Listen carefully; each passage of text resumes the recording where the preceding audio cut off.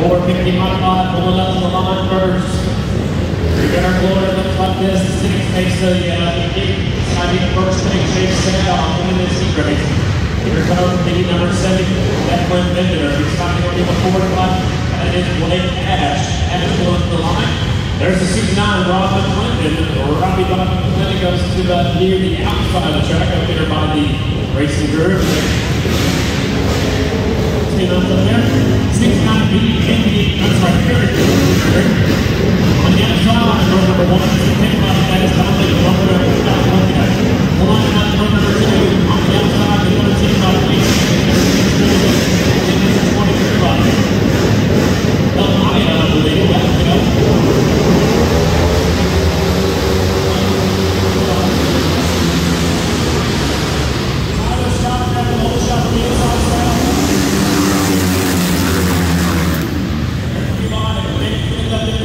But